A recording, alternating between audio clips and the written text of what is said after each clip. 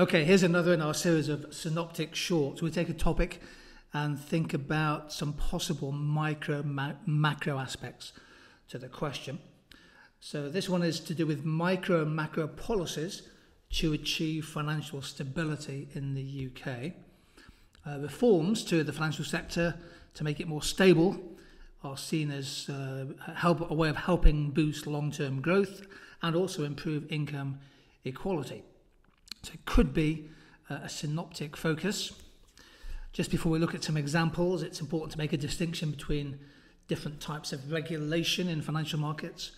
Uh, micro prudential regulation looks at individual financial institutions, banks, payday lenders, insurance companies, and so on, and, and tries to ensure they remain solvent and that the people who make deposits with them, savers, are protected.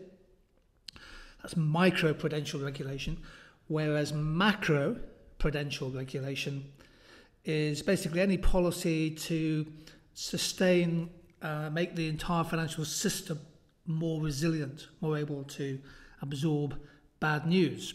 So, for example, prevent too much credit over expansion, big macro supervision of the entire banking system so they maintain sufficient capital buffers.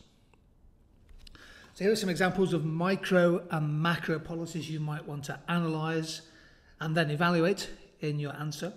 On the micro side, one policy has been or could be to increase the contestability in the banking system, to encourage more challenger banks to enter the market, perhaps to reduce the monopoly or oligopoly power of existing banks. So, for example, Metro Bank is perhaps one of the best known. That was launched in 2010. It's got about 40 branches across the UK. Virgin Money, Aldermore, one or two others, quite a few online banks have emerged. Second, micro policy could be an intervention in the market to introduce a cap on the interest rates, for example, charged by the payday lenders for unsecured loans. So that would be a classic intervention to address monopoly power in the market and also to, to cut the risk of poor families being exploited.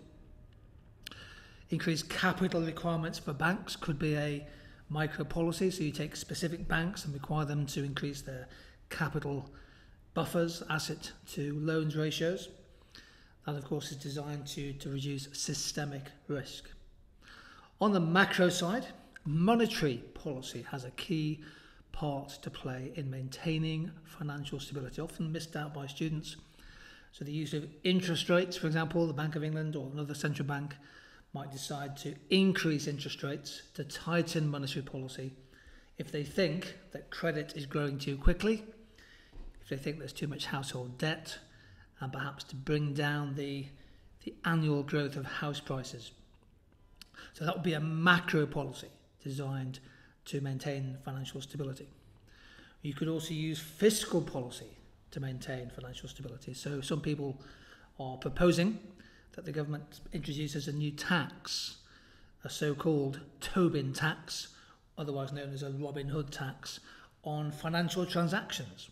So every share deal, every currency trade, there will be a very small tax, very small percentage tax. And that is designed more widely to raise a lot of money, but to, to reduce the amount of speculative trading in markets. Some people think that speculation uh, causes financial instability.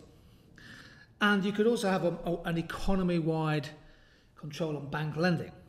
So, a macro policy would be to introduce a minimum cash to deposits ratio for the banking system, designed to increase their liquidity.